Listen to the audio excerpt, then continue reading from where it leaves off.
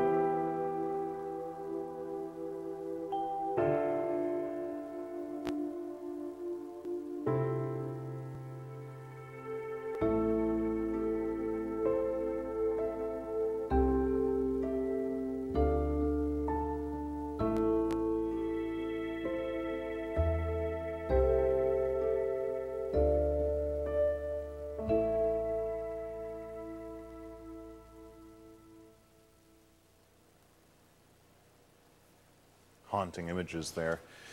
If you'd like to help people in Ukraine who may be in need of shelter, food, and water, please go to cnn.com/impact and you'll find several ways you can help.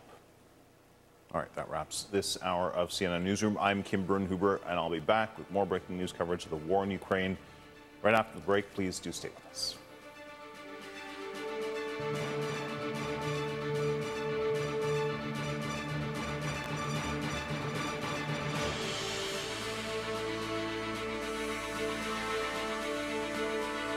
This is how you imagine your dishwasher, but it may not be as clean as you think. Built-up grease and lime scale could be hiding in your pipes. Try Finish Dishwasher Cleaner. Its dual-action formula hygienically cleans hidden lime scale and grease in your dishwasher. Finish. Clean dishwasher. Clean dishes. Selling a home is expensive and stressful, so we created our smart seller system to sell your home for top dollar and save you thousands in commissions. I was amazed in the fact that my house sold in one day. Ideal agents saved me in the neighborhood of twenty to twenty-five thousand dollars in commissions. The process was. As we explore Israel together through this book, my prayer is that you will see a Church of Lakeport may be when you could still get a cup. Time for you to try Nutrisystem with food that is new for 2020. Proof guarantee. We're simply going to share. Broke. And as it turns out, it's not. Lifestyle roadmap for healthy brain. Are long gone. Some are in ruins. A few have been restored.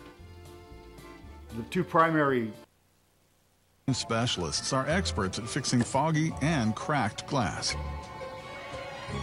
Looks great. You're all set. Thank you. What we can't fix is your view. Oh,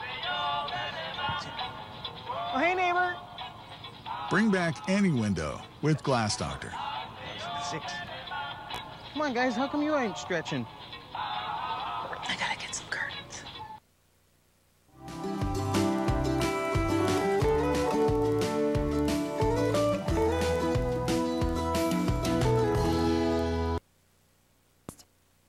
Eighteen-year-old daughter Alexis would be found alive. When we got to the mortuary,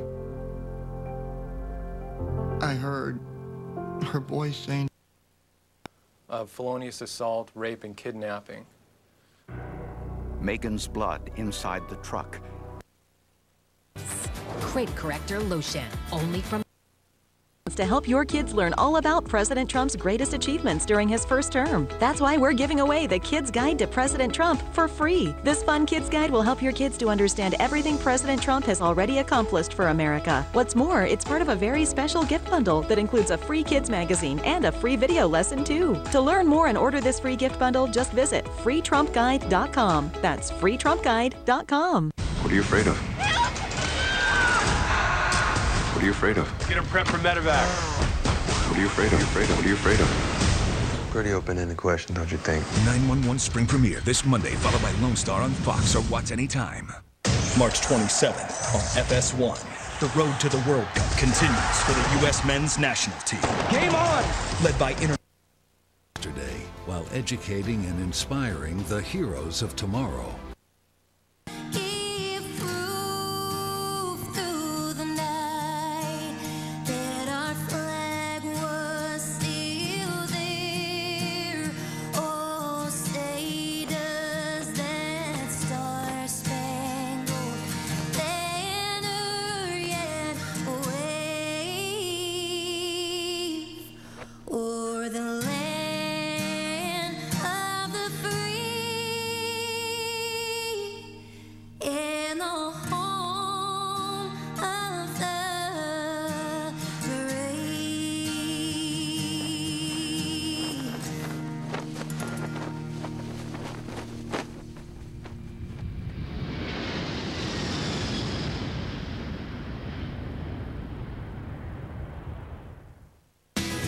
KELOLAND, your home.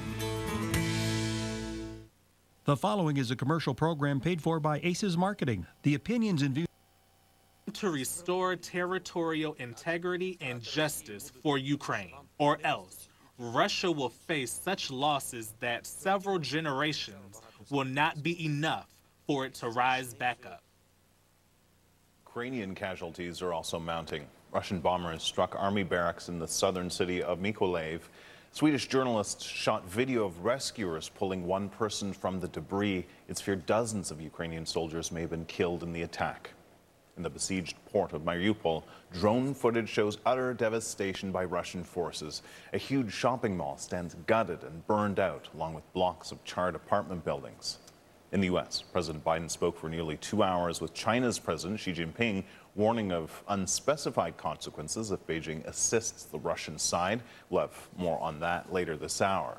Now, CNN has correspondents positioned around the world covering the story from every angle. We'll have reports this hour from Scott McLean in Ukraine, Ed Lavandera in Poland, Natasha Bertrand in Brussels, Delia Gallagher in Rome, and Kaitlan Collins at the White House. Well, we begin with our Scott McLean live this hour in Lviv, Ukraine. Scott, uh, let's start with that deadly attack on the barracks. What's the latest there?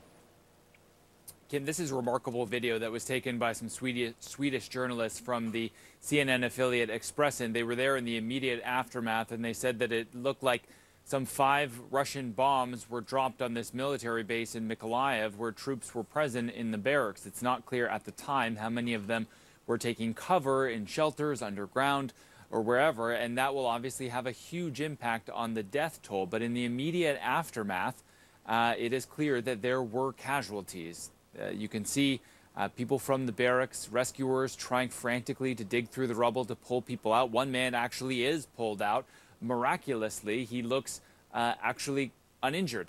Uh, one soldier told uh, that affiliate in, in Sweden that there were some 200 people present at the time, and he estimates that the vast majority of them would have been killed or injured. So it's possible that the number of casualties here is massive.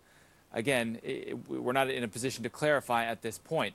Mykolaiv is an important part of uh, the, the Russian advance in Ukraine. It is a strategic city in the southern part of the country. It's also a place that the Russians have really struggled to capture. If they were to be able to take the city, they would be able to move west, open up a new front in Odessa, or they'd be able to move north and start attacking Kiev from the south. But so far, it doesn't seem like they've been able to do that. And so for the moment, it seems that they are content to lob explosives into the city instead. And military bases, uh, military barracks, those have been par for the course for the for the Russians. Just a week ago, there was a military base struck actually not far from here, about 11 miles or so only from the Polish border.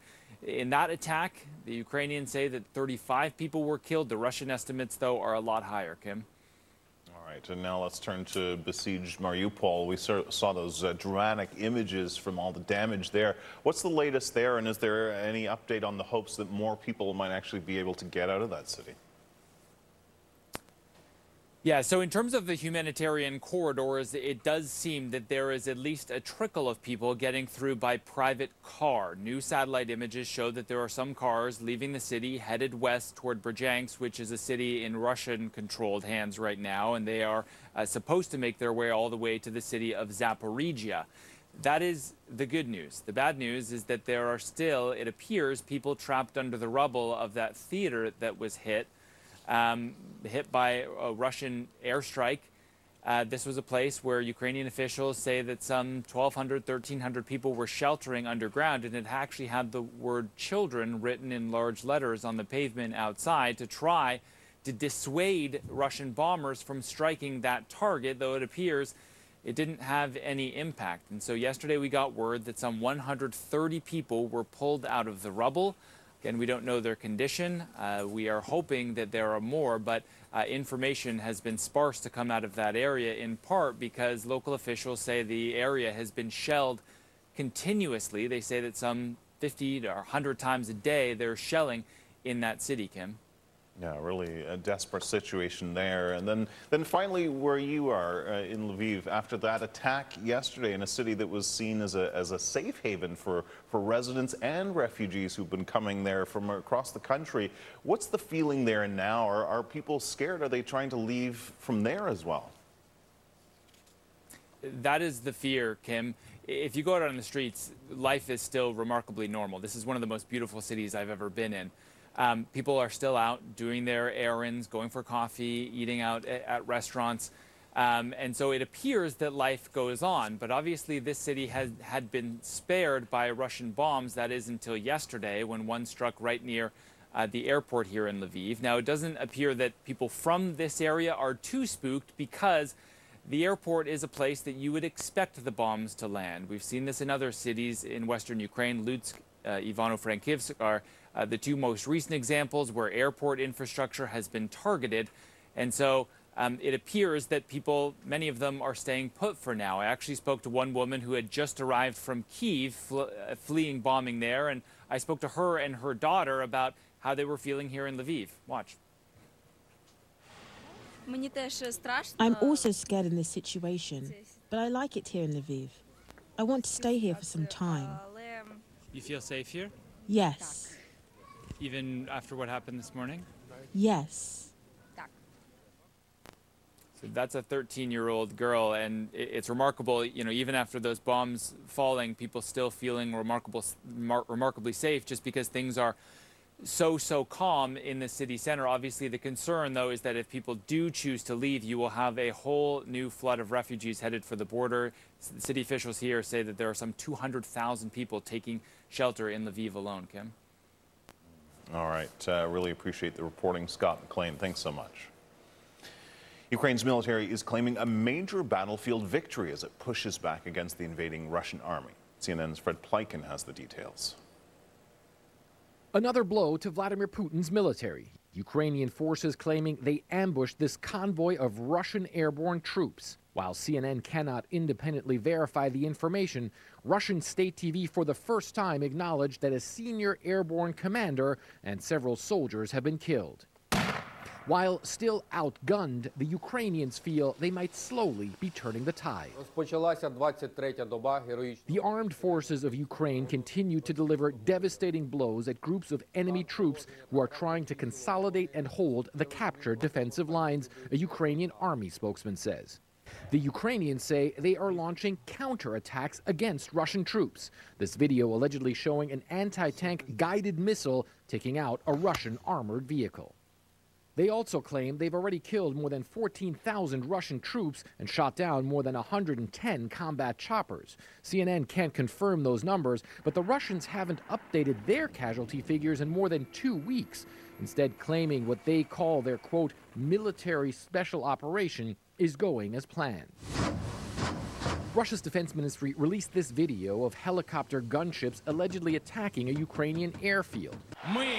Still, Vladimir Putin clearly feels the need to rally his nation, making a rare appearance at a massive rally at Moscow's main stadium, where a strange technical glitch cut off his speech, but not before he praised Russian troops. The best proof is the way our boys are fighting in this operation.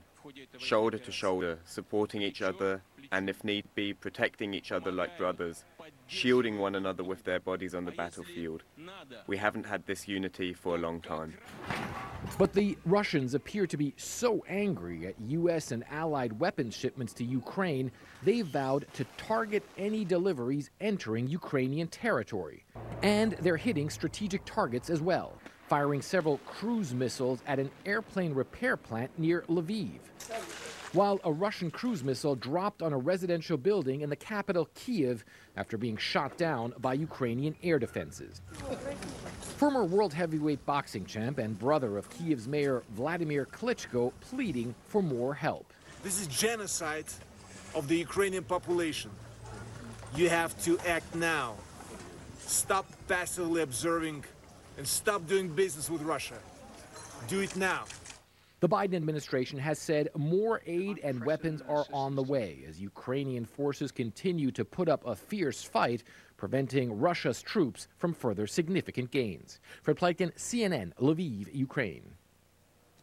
For more on all this, William Taylor joins me now. He's a former U.S. ambassador to Ukraine and is vice president for Russia and Europe at the U.S. Institute of Peace. Thank you so much for being here with us. Uh, you saw President Zelensky's message to Moscow, uh, in which he said, uh, frankly and clearly, it's time to talk. Um, do you think, given how the war is going, um, that, that Russia will finally enter into good faith negotiations anytime soon?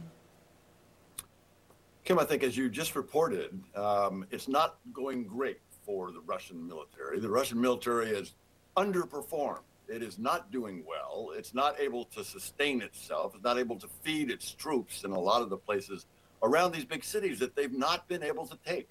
So, as that happens, that will be the indication that there is a possibility of negotiations. That is, when it is clear to President Putin, who is the only decision maker on this question, when it is clear to him that it is not going well, when he is stalled, when his military has stalled, and the only way out for him is to sit down for negotiations, then that will be the time. President Zelensky has indicated he's ready to talk. President Zelensky has indicated that uh, that the Ukrainians um, are going to continue to fight, um, and they are continuing to defend the capital and other cities. Uh, and and that's the key part of the question about negotiations. Um, it's, it's up to President Putin to decide, and he has to realize that his military is not accomplishing what he wants. All backed by magic tricks that I'm used to doing is uh, European diplomats and Ukrainian officials uh, about what it would like, like, look like if Ukraine assumed some form of neutrality. Uh, is, is that a viable off-ramp here? And if so, what might that look like? So President Zelensky has, has made it clear um, that he is determined to secure Ukraine. He's determined to provide security for his people. He's been interested, of course, in NATO membership um, as a way to provide that security. And it's now clear to him that that's not a near-term solution. Um, it's in their constitution, but he's realized that that for now it's not a solution. So he's looking for other ways, other formats, other examples of how European nations have provided security for themselves, who have been secured. One way um, is like Austria. Uh, but again, this is a, a question not for President Putin, not for Europeans. This is a question for Ukraine. This is a president for President Zelensky to decide if he wants to pursue this kind of an idea. He said he's open to it. He said he's open to it, and that's that's the right question. Yeah, the, the Australian model would be uh, Austrian model rather would be that they, they own a military but but not join any alliance, right? That is correct. It's the Austrian model that says the Austrians, of course, are a member of the EU. That's important. Um, they're not a member of NATO. Uh, they do have their military, and Ukrainians will demand a strong military for all kinds of reasons. They'll demand two things, Kim. One is assurances, not just assurances, guarantees of their security from other nations, including the United States, including Germany, including all the members of the Security Council. They will demand those kinds of guarantees, number one. But as a backup, as an insurance policy, they will demand to have their own military, a strong military, as we're seeing right now. This is a strong military that the Ukrainians have right now, and they will demand to keep that. Yeah. Let's pivot to China now. During the call with, President's, uh, with President Biden, uh, Xi Jinping said both the U.S. and China have a responsibility for ensuring peace. So when it comes to China, uh, do, you, do, you, think that's likely, or is it more likely to, to support Russia financially or even uh, militarily, which would obviously deepen the conflict? It would deepen the conflict, no doubt. However, the Chinese have denied um, that the Russians have asked for this military support and financial support. Just the fact that the Russians are asking for the support from China, that's a suggestion to me that President Putin recognizes he's in desperate shape. He needs help. Um, but on the Chinese side, they've not committed. Fact is, they've said that they've gotten no such requests. Number one. Number two, the Chinese have been hesitant, have, have uh, held back in any expressions of support when President Putin was there, was in Beijing for the opening of the Olympics, they issued this long statement between the two presidents, President Xi and President Putin. They didn't mention Ukraine once. Chinese would not allow Ukraine to be part of that of that uh, announcement. And last thing, Kim, is the Chinese have abstained twice in the UN, in the Security Council and in the General Assembly. They have not supported Russia in either of the votes in the UN. Yeah, we'll see. Uh, certainly a, a, strongly worded condemnation would, would go very far. So we'll see um, what happens uh, as they've been sort of going playing both sides so far. Uh, that's all the time we have. Uh, Ambassador William Taylor, thank you so much for joining us. Really appreciate your insights. Thanks, Kim. Good to be here.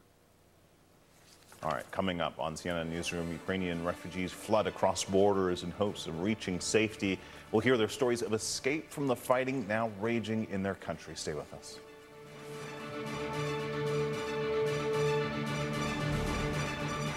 Rob did his best to.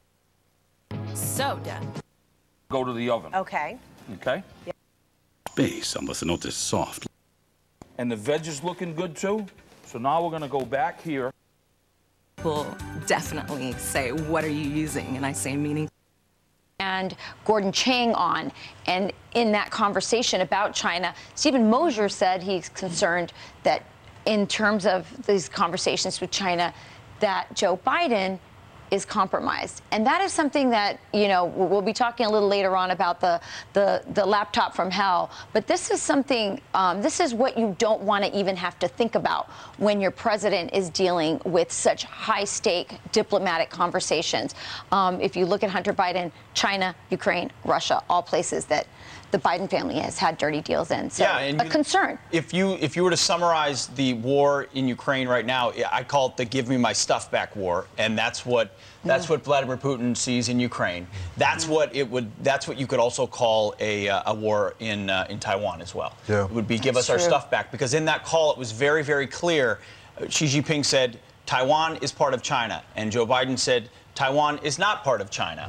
Uh, and yet, as you pointed out before the show started, Rachel, a couple of Chinese warships uh, sailed through the uh, Taiwanese Straits right before the talks. Could be a signal uh, of, hey, you know, whatever we talk about, we've got, we're, we're the big dogs in the neighborhood. What are we prepared to do? And what is China reading out on our preparation to do that uh, in, in Ukraine? Last thing I'll say, because I know we got to get the headlines, is this was talked about in the prior election about the consequences of em- emboldening our, our, our enemies and taking China seriously, taking Russia seriously.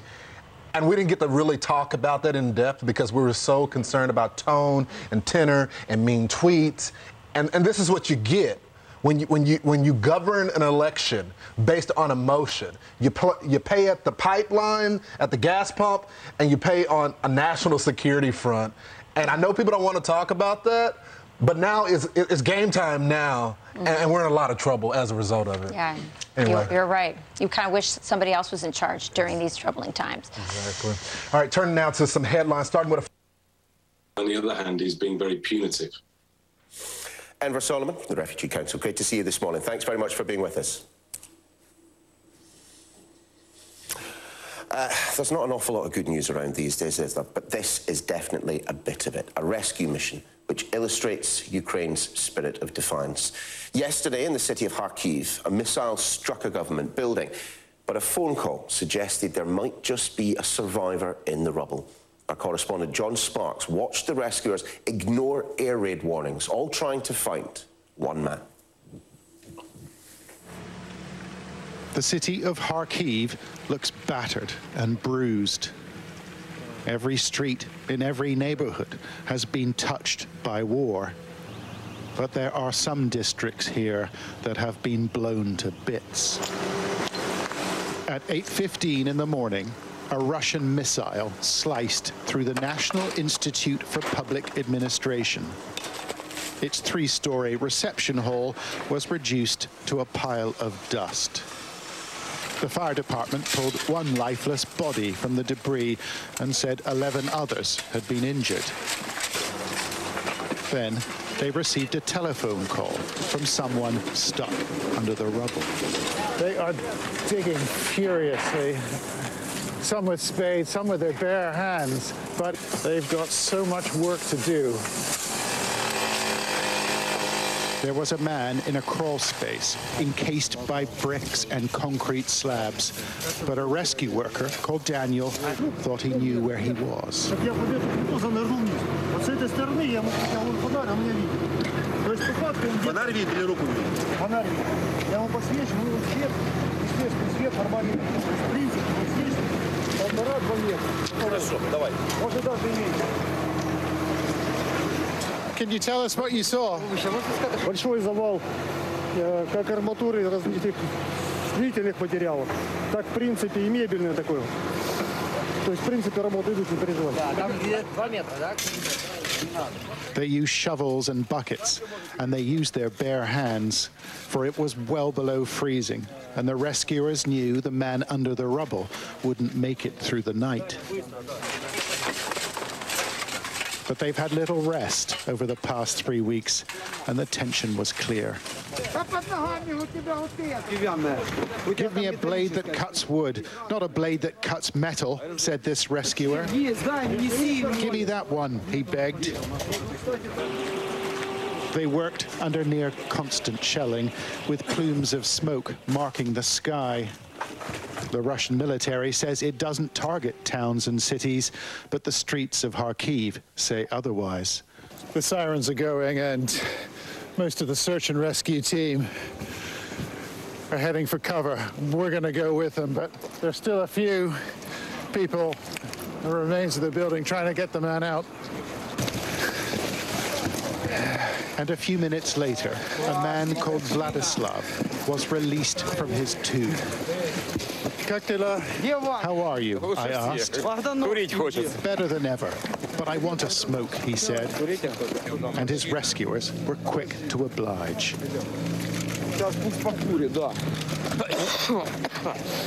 Did you panic? We asked. Not really, he said. I was just trying to protect my head. What would you, have you got anything to say to the people who rescued you? What would you like? Thank you so much. Людям, які врятували вас, що хотіли сказати? Я им очень благодарен. Вот просто по гроб жизни. Они просто красавчики, реально делают очень тяжелую, очень нужную работу. Слов нет.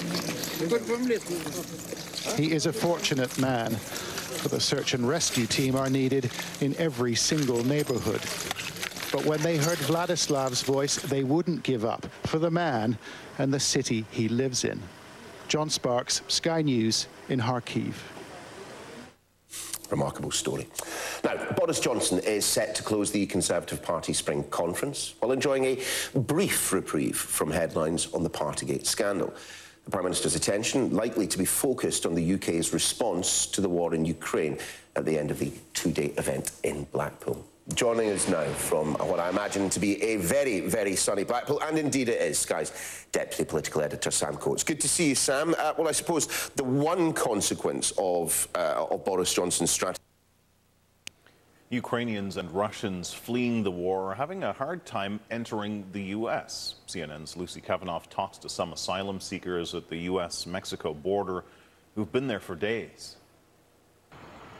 At America's southern border, anguish and uncertainty for the war weary. Christina was in Kiev when Russia unleashed terror from the skies. I just wake up from bomb. She fled, first to Poland, then France, then Mexico, unable to bring her parents or brother along. I just crying so much, just hugging so much and tell goodbye and we don't know maybe they, they don't look each other anymore in this life. Traumatized, shaken, waiting for a chance to apply for asylum in the U.S. Two, two weeks, weeks at the two border, weeks. and you yeah. have not been able to cross. Yeah. Despite the fact that you're fleeing Yeah, war. and here we are third, third time. Third time yeah. at the border. And we just try to go there. Yeah. Sergei Finik, his wife Yana, and their two little ones fled Kharkov as soon as the invasion began, before the Russians turned their home to rubble. They said they're really hoping to be able to cross. Oh, he says he wants to go to America. An unreachable dream for many, with the U.S. southern border largely closed off to asylum seekers for the past two years thanks to a controversial Trump-era COVID health order known as Title 42. Shortly after we spoke, Christina and other Ukrainians were allowed to cross, but they weren't the only ones seeking refuge from Vladimir Putin's wrath. There is confusion at the border here in Tijuana. We saw some Ukrainians allowed to enter, including those that have been turned away several times. This group consists of mostly Russians. They have been here for days. Their fate remains uncertain. Katya Yarina and her two children came from St. Petersburg. Her husband was arrested for protesting the invasion hours after it was announced. He feared prison or forced conscription into the war. She caught the last Aeroflot flight to Mexico, hoping to gain refuge and safe haven in the U.S. И вы приехали сюда, и вы попробовали пройти, you tried to cross. Что вам сказали? What did they tell you? Нам сказали... She says they were promised entry, then told to wait. Six days later, they remain in limbo, no access to funds because of sanctions. A Department of Homeland Security memo obtained by CNN instructs Customs and Border Protection officers to consider exempting Ukrainians from Title 42. An agency spokesman said other vulnerable individuals could be accepted on a case by case basis, but no other nationality was singled out in the new guidance. And if you'd like to help people in Ukraine who may need shelter, food, and water, please go to cnn.com slash impact and you'll find several ways you can help. All right, coming up, mounting losses and trails of destruction. We'll the latest on the war in Ukraine as Russia's invasion enters its fourth week. Stay with me.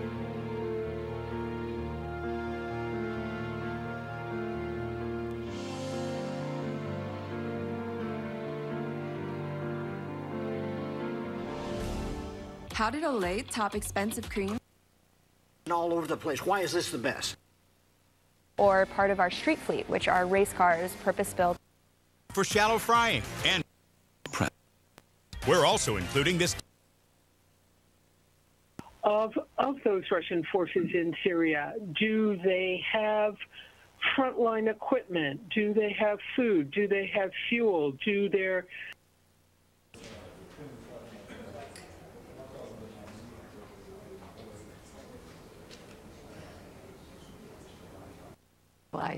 Sonic Skin Revitalizers. There were over 30 intelligence experts who at the time tried to discredit uh, that the laptop as. They didn't try to just discredit the New York Post story. They also accused sitting senators, Senator Grassley and Senator Johnson, of being purveyors of Russian disinformation.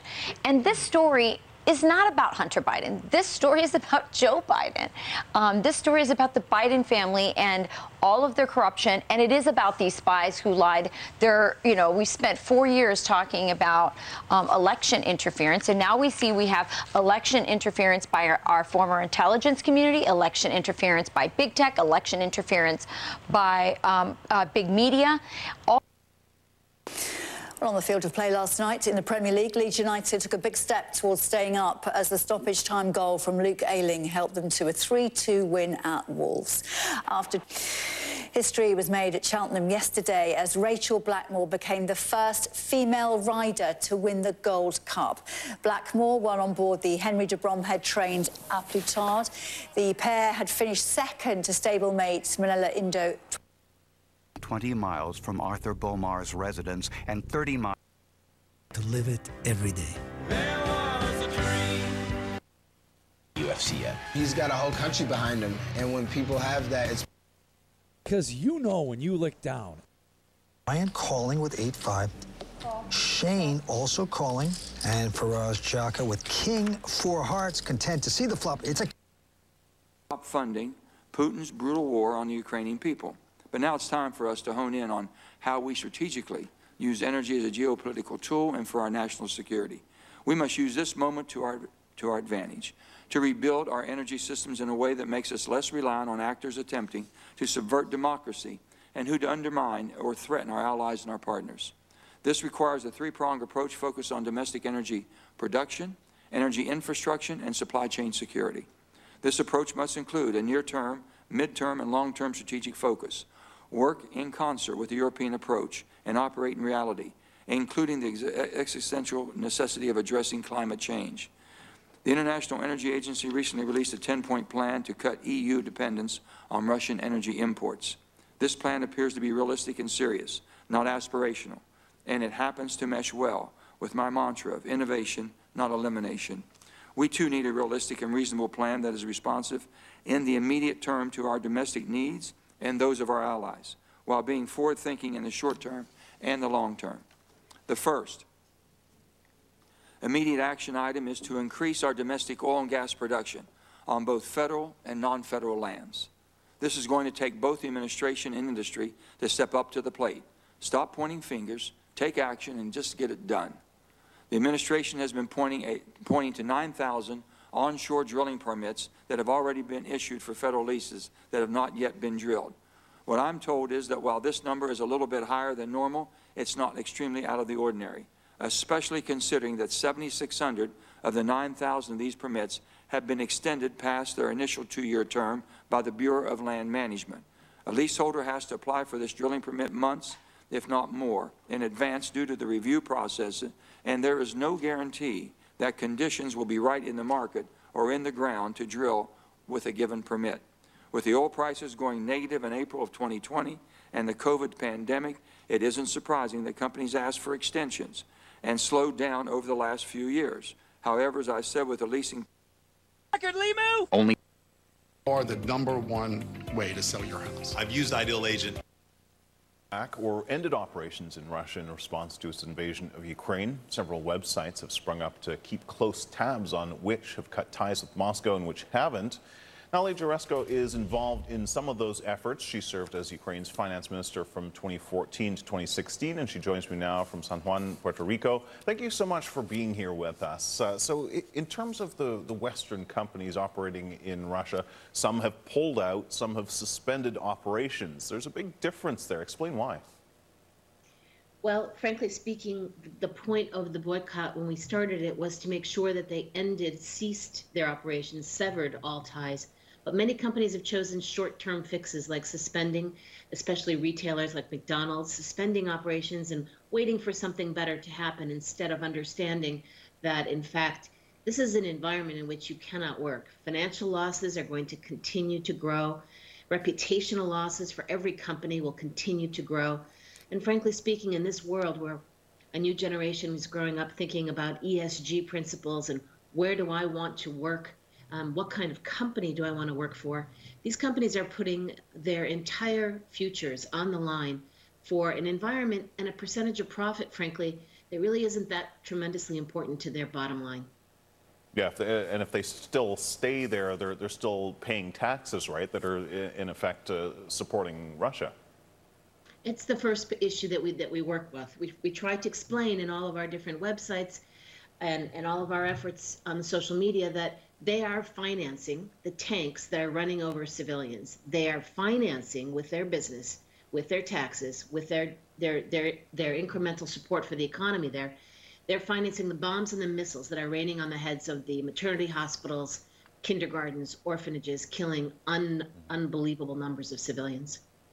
So, so there have been these uh, grassroots efforts to sort of name and shame companies that are still operating in some capacity in Russia, and you've been involved with a few of them, uh, boycottrussia.info and squeezingputin.com. So tell me uh, about the folks behind these. Who are they? What type of people? And, and why did you decide to get involved?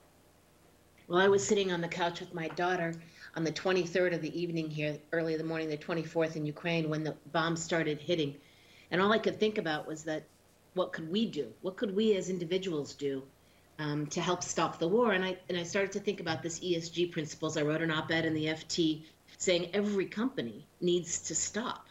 Um, there's no way that anyone can morally continue to finance an economy that has started an unprovoked war like that. And that led to working with colleagues of mine in London at Highgate, a firm that I had worked with before, colleagues, and they developed boycott. boycottrussia.info which really focuses on top companies and, and, and tries to get everyone to look at the companies that are the largest. And then volunteers started pouring in, and uh, squeezingputin.com appeared because of some volunteers who were keeping track of each and every company operating in Russia, what they were saying, what they were really doing, to be able to parse through all of the announcements, which are not always clear. Um, and then they added recently what humanitarian efforts each of the companies are making to help Ukrainians. I, I guess it's hard to, to get sort of uh, measurables here, but what effect do you think this is having? Well, I think that for average Russians, the departure of the retailers is important. They're seeing, you know, shut down McDonald's, shut down Estee Lauder uh, retailers, and they're seeing certain products uh, disappearing from their from stock. I think what's really important initially was the divestment of BP, Shell, uh, Exxon from the energy sector. But right now, what we're waiting for is the financial sector, which is at the very heart of the operations. So, Citi, ING, Raiffeisen Bank, Barclays Bank, Unicredit, they all continue to finance both the companies that are remaining there, but as well the Russian economy. And so, companies like Citi, which represent America globally, really need to take the time right now and make the right decision, both financially for their company but morally for the entire globe and all their customers and clients and shareholders. I wanted to ask you this because of your unique experience. I mean, you were you were finance minister, I understand, after the annexation of Crimea. Um, what you know, seeing Putin celebrating the the anniversary of the the annexation with a huge concert and, and so on. I mean, what, what did that feel like for you? Well, it reminds me of pictures of Nazi Germany and we saw the stories on TV of many of the people being bused there forcibly, but then many others being there voluntarily. And what, what, what it tells us is that he does have an enormous amount of support amongst his own people. The stories, the disinformation that's filled the airwaves in Russia over the last 20 years has been extremely detrimental to anyone's understanding of what's going on in, in, in Ukraine. And the combination of his own disinformation and then shutting off all access to the outside world, to social media, to, to free press, kicking out the free press. Um, you know, a history of murdering uh, journalists who have a voice and have, have have delivered news that Putin didn't like has created an environment in Russia where uh, individuals just don't understand uh, that there are no Nazis in Ukraine, that Ukraine was attacked unprovoked. No one was planning anything. No one had any intention uh, to, to harm uh, Russians, Russian speakers, or Russia. So I think you know this proves the ability of autocrats uh, to feed disinformation to their populations and, and basically um, eliminate any possibility for real decision making. Yeah, we, we only have a, a, few seconds left, but I just want to ask you because you were involved in rebuilding Ukraine's uh, economy after that. I mean, looking at the situation now, how big of a task will that be even after this, this war is eventually over, going forward to, to rebuild yet again?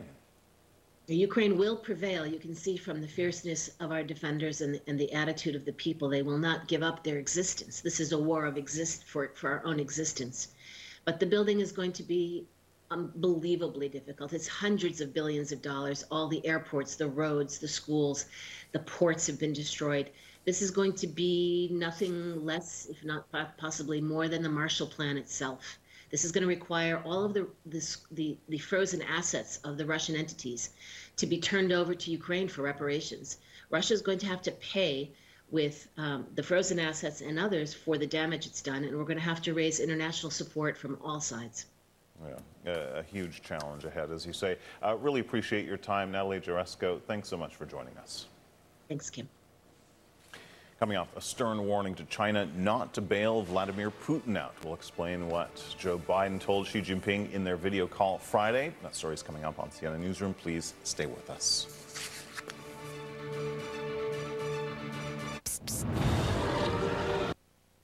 Behind Neuriva Plus. Unlike ordinary time of it.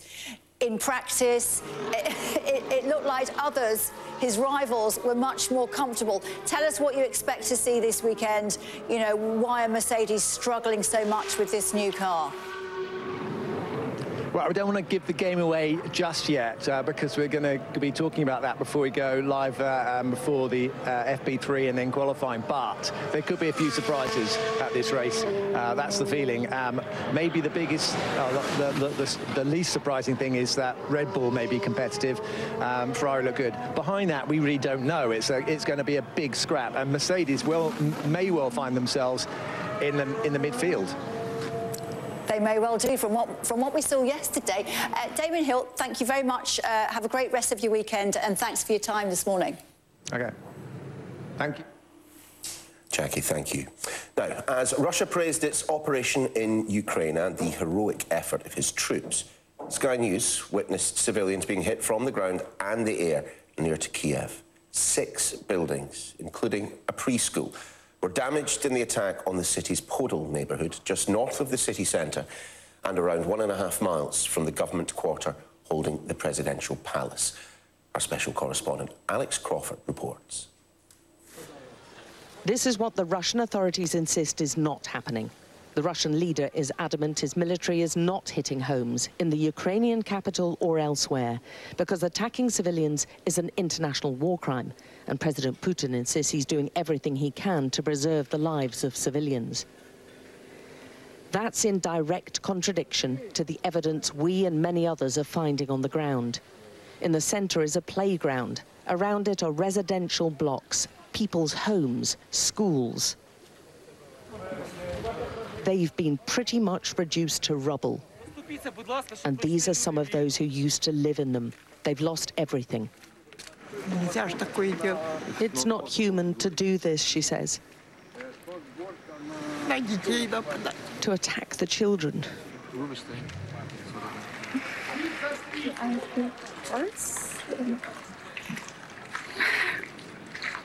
I don't remember words they grab whatever they can in plastic bags. Pets, TVs. This is all they have now. Right next door, there are two schools. One is a kindergarten. Schools have been suspended for the time being in the capital, or these classrooms would have been full of pupils. These attacks are killing, and they're not soldiers or fighters. This was an elderly man, one of many who felt too frail to leave the city despite the dangers. The daily attacks have left others badly hurt. He survived with terrible head wounds. His wife did not. The victims here don't have much faith in any peace talk succeeding, and no one we spoke to had any doubt about who the attacks are aimed at. And you think it was specifically targeted at civilians like you? Why, though? Yes, yes, I definitely think this, she says. Putin's trying to kill as many Ukrainians as he can. And the Kiev mayor is absolutely certain these repeated attacks on civilians are ruthlessly executed. Do you think there's any mistake? This could have been a mistake, or was this deliberately targeting civilians? Uh, okay, if we're talking about mistake, here's mistake. Last uh, morning was a mistake 24 hours ago. Two days ago was mistake. Huge mistake. Destroyed the Kharkiv and Mariupol. How many mistakes they do it? How many civilians have to killed? And after that to explain about mistake uh, from, from Russian forces. The UN's warned the country's food supply system is falling apart. They were scrambling to save stocks here. A number of these shops have been hit as well and impacted, and that is the worry that a lot of these food supply chains, bakeries, food factories have all been impacted as well and are being specifically targeted. So they're wasting no time, pooling supplies in Kiev. These are all donations. They're trying to make sure those left homeless and hungry by the bombings are somehow looked after. And this despite worries that food warehouses in the country are running low. Those who have are giving to those who don't. I think the, uh, that we are the second front on this country because the army is the first front, volunteers, and it was second. This is true community. Whilst the capital may so far have been spared a major assault, among the workers here there are those who've also lost their homes to the daily bombings. Like Tatiana, back two days later helping those she feels are less fortunate. No, it's strange. It's like uh, something unbelievable. It's like from the movie. Something from the movie came in my real life. She showed us her flat, now in bits. She's moved in with friends. For me, I don't think that I can die or something like this. I am afraid. I, I think uh, what I can do for other people and no, something like this. What, how I can help. Because I, am lucky and in my building about 400 apartments and everybody alive. And other, no, other people not so lucky. Mm. The suffering is unrelenting. And whilst Kiev defences are so far holding, the capital's residents are still bracing themselves for more of this and worse. Alex Crawford, Sky News, Kiev. Time for a quick look, see how the weather is.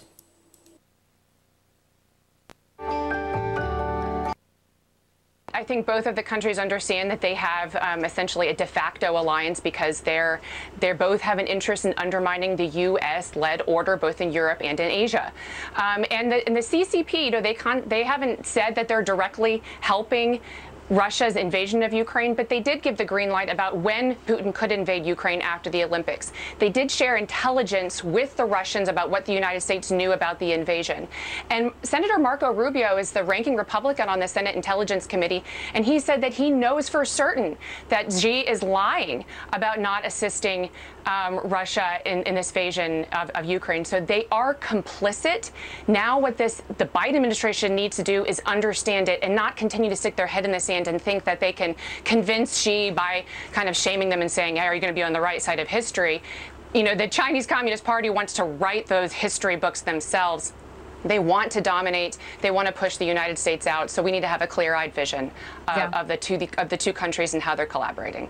Boy, are you right. Yeah, Xi Jinping warning that more sanctions on Russia could lead to a serious uh, global food supply crisis. So he's he's giving us the warning already. Uh, Rebecca, great insight. Thanks for joining us this morning. Thanks so much. Okay. Pete? So well said by Rebecca. They want to write the history books mm -hmm. themselves if they can. Thanks, Rachel. All right, turning now to some additional headlines. A 14 year old is gunned down in a shopping mall in Kansas. Wichita police say they arrested two teenagers suspected of opening fire on the victim after some sort of fight inside the mall. Fears of an active shooting sending panicked shoppers running for cover. No one else was hurt. Police believe the shooting may be gang related. And lawyers for disgraced actor Jussie Smollett are now filing a complaint against a lawsuit filed by the two brothers who claimed they participated.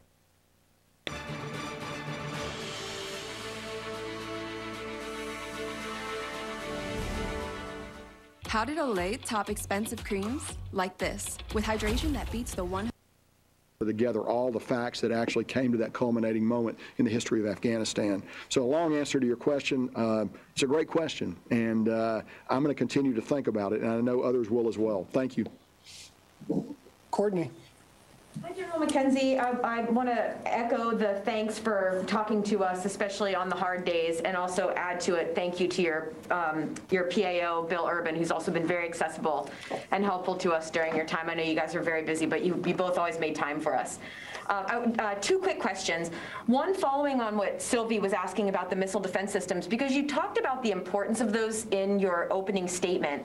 I'm wondering if you have any concerns about losing any of those systems, given the, the you know the ongoing need for them in places like EUCOM and Ukraine, or if you think that you have enough. I know you you you frequently say that you never have enough of anything, but do you feel like you actually need more missile defense systems in CENTCOM?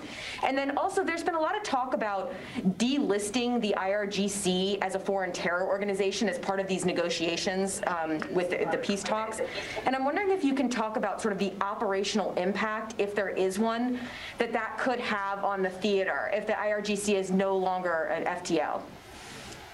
Hey, hey, thanks, Courtney. First, on air defense systems, let me say we have enough for, for the mission that we've been given here in Central Command right now.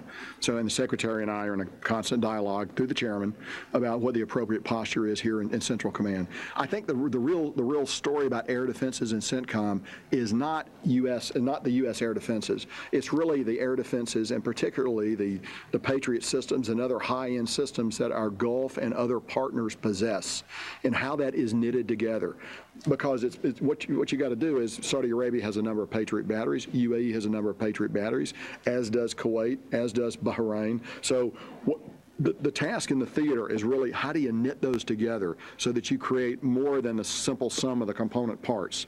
We call that, you know, tipping and cueing advance early warning, and you build what, what we know, and you've heard me say this, the common operational picture. So everybody sees the same thing. Everybody gets early warning. Everybody can be prepared to react very quickly to a potential Iranian attack. That's where uh, that's where the future in this theater is. And so, why is it important now?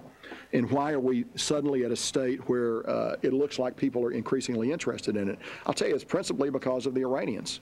They have invested uh, enormous resources into improving the number and capabilities of their ballistic missiles. And, you know, it, it in the Al Asad attack in January of 2020, their missiles hit within tens of meters of the targets they were intended to hit.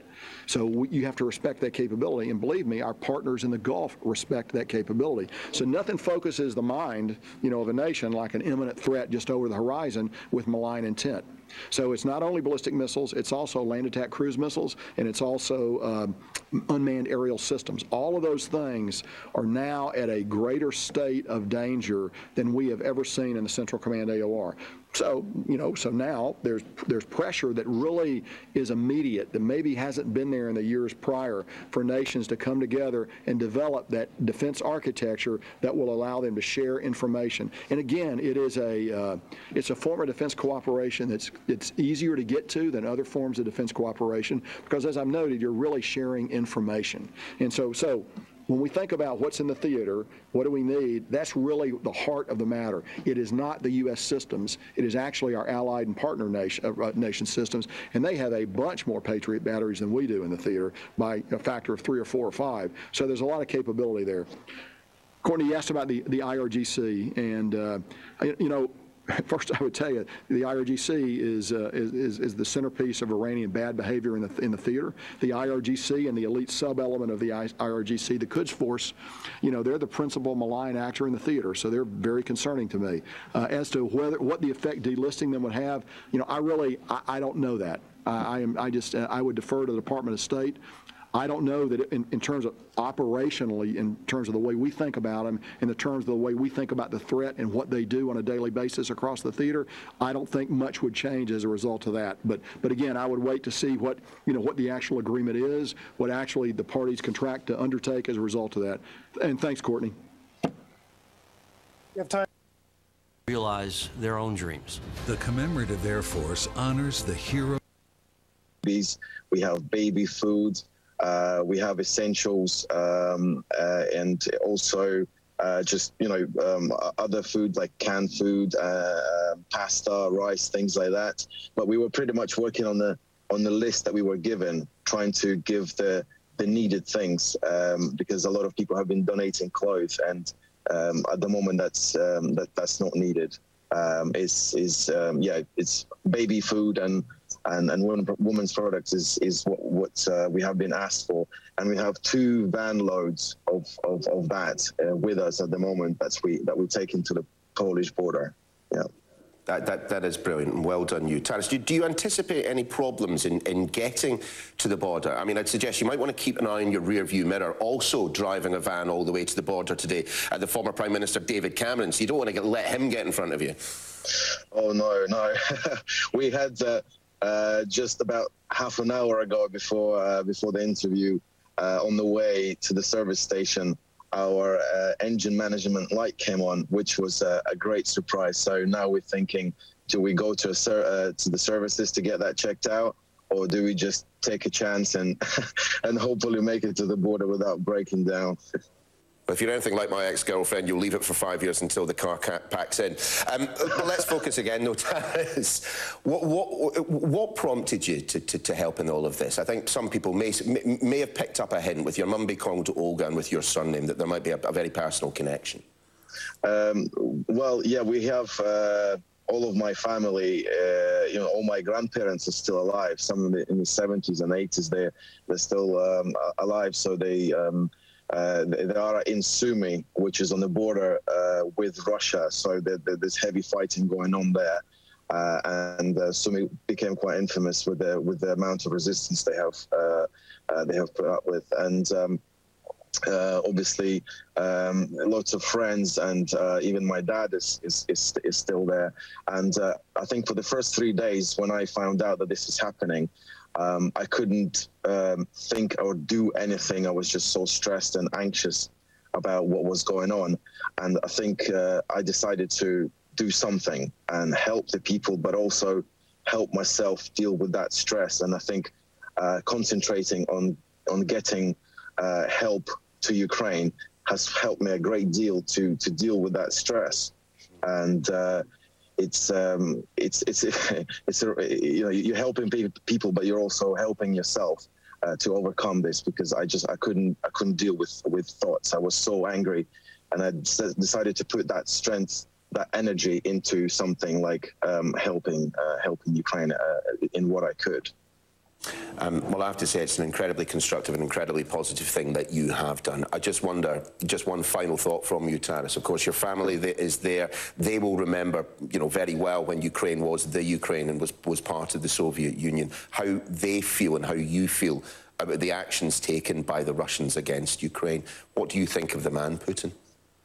Um, well, to say that I'm surprised that this has happened, I'm I'm not that surprised because we've we have been expecting this for for some time, and uh, we, you know, a lot of people thinking, how can this happen?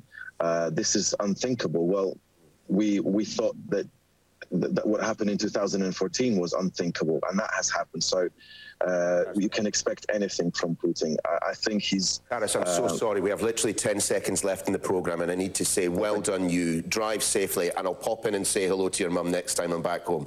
Look after yourself. Thank you so much. Thank you.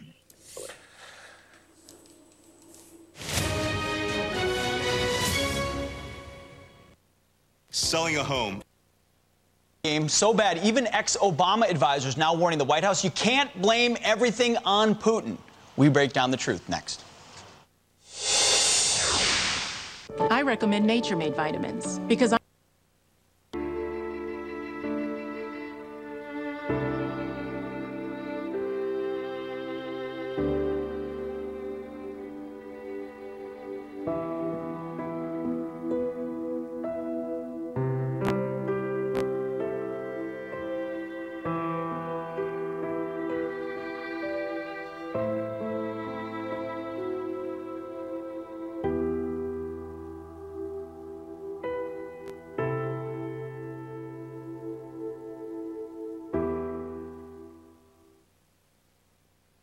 It's my 405. The show must go on. Migraine medicine. It's other huge problems, but the headquarters as a whole, as a joint warfighting four-star headquarters, focused on the Iranian problem and everything attendant to that. Thanks, Nick. Okay, with that, we're just about out of time. Uh, thank you very much for your time today, sir. Uh, it has been an honor working with you and your public affairs team there at CENTCOM. Uh, do you have any closing remarks for us here? Sure, I'd just like to say that I actually, I think reaching out and being available to the press and talking to the press is a very important responsibility for all senior leaders. We got to do it. And there have been days, I'll tell you, I would rather have my leg taken off below the knee than come in there and talk to you guys. And uh, but I, but it was an important thing to do. And in the long run, it's better for the country. It's better for everyone if we're accessible to you and we share what information we've got. And I've enjoyed the very professional, uh, professionally rewarding and personally re rewarding relationships that I've had with members of the media. Uh, you're, you're, trying to do your job, and your job is very important, and I and I and I support it. Thanks for thanks very much. It's been a good uh, opportunity to talk to you today. I wish you all the best, and uh, thanks very much. Out from Tampa. All right, thank you, sir. Ladies and gentlemen, this concludes today's press briefing. Thank you.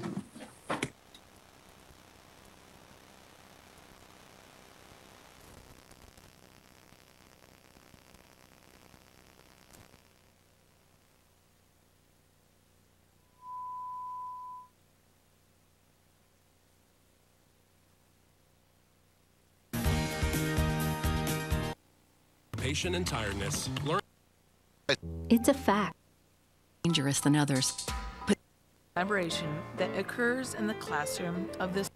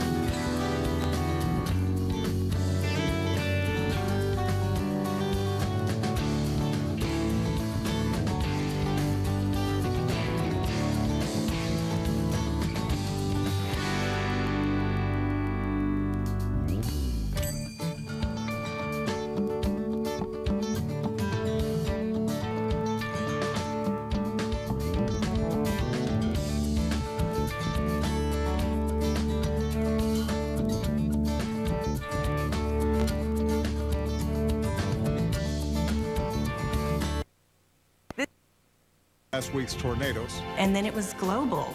They were just a vessel of God's grace to us. It was it was amazing. Like other survivors of the tornado, that flood of goodwill has helped her get by. I know that I am far more in a deeper walk with my faith than I was before the tornado. God has just shown himself over and over and over again.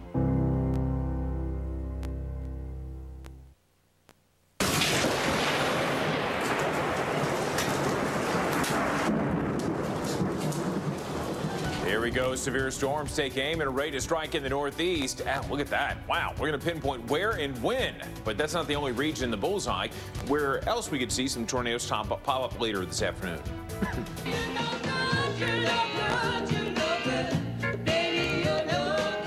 All right, we may love spring, but those allergies are just no good. Coming up, who's seeing a spike in pollen right now and ways to get some relief with some home remedies. Plus, the Atlanta Science Festival is happening this weekend, and there are more than 100 days in which to revise and extend their remarks. keep you posted on that. As for the hypersonic missile claims from Russia, it is important to point out those are only coming at this point from the Russian Defense Ministry. It may be true that they are using hypersonic missiles. It may be just another propaganda tactic to further pressure and frighten civilians. They have certainly been frightening them once again in Kiev, where artillery shelling from the Russian tanks on the outskirts of the capital city has again done damage. Civilian targets have been hit. As you know, all week, what you're seeing there is an attack from Friday. In the eastern city of Kharkiv, too, there has been constant bombardment from Russian forces who clearly are intent on taking that strategically important city. But Ukrainians continue to fight back, fight for every inch of this country. Uh, there, we have seen pictures of Russian tanks, which Ukrainians say their forces once again destroyed as they sit in positions not just around the capital, Kiev, but around other cities too. We're also seeing some interesting satellite uh, images from Maxar Technologies, which show the huge lines of people trying to escape various cities, in particular the hard-pressed southern city of Mariupol. That line of vehicles are full of refugees just trying to get away from the fighting. And in the midst of all of this, President Zelensky of Ukraine says it is time for Russian President Vladimir Putin to sit down and talk and find a way to get a peace deal. Listen here to President Zelensky. Thanks to the courage and professional training of the Ukrainian armed forces, the occupation forces were stopped in almost all directions. It's time to meet, time to talk. It is time to restore territorial integrity and justice for Ukraine.